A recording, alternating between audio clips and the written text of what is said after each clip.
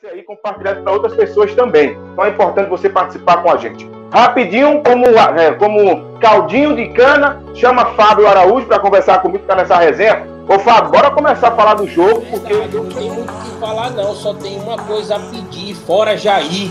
É, meu amigo.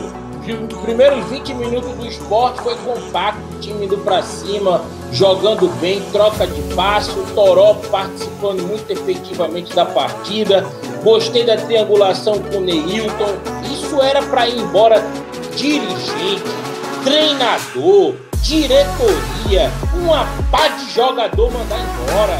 Porque olha. Falando sobre essa questão do Jair Ventura, né? Que a gente abriu aqui falando do Jair Ventura, fora Jair. O pessoal aqui também está falando bastante que não aguenta mais o Jair, que o jogo está parado, que o jogo não tem criação. Você acha que esse jogo de hoje foi, é, pode ser assim, fundamental para a saída do Jair, já que, no, já que ele vem aí nessa balança, né? Porque ganhou um jogo é, contra o Central, beleza, ganhou. Aí no meio de semana consegue vencer o Santa Cruz naquele jogo louco lá, porque eu não estava aqui com vocês na resenha, mas eu ainda acompanhei um pouquinho daquele jogo. Não achei que o Sport jogou tudo isso, não, viu? Condição, mas tem que mudar, respirar um novo ar, uma nova filosofia, uma nova metodologia de treinamento. É, um treinador novo, passar com esse elenco, já ir obrigado a manter o esporte na Série A. PT saudações, vai-te embora, porque o time não evolui. É aquela conversa de sempre, vamos lá. O esporte vai dar atenção à Copa do Brasil porque é mais rentável, dá mais dinheiro e pode chegar. No final, porque já foi campeão. Não, o esporte vai dar atenção aí à Copa do Nordeste. Ah, o Pernambucano a gente pensa depois que teoricamente é o campeonato mais fraco. Ou realmente é o campeonato mais fraco, é o estadual. Aí você depois percebe que o negócio não está andando, né? Você não anda.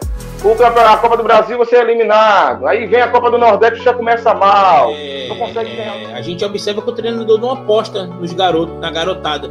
O Jair fez um bom trabalho com a garotada do Botafogo, mas agora com o esporte não quer fazer esse trabalho.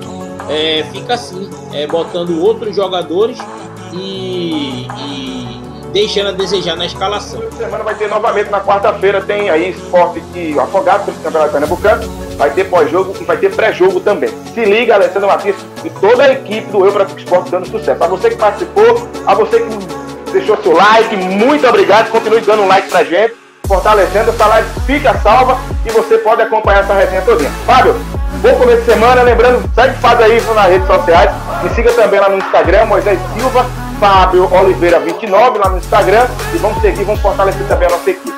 Valeu, obrigado Alexandre, obrigado a todos Um abraço e um ótimo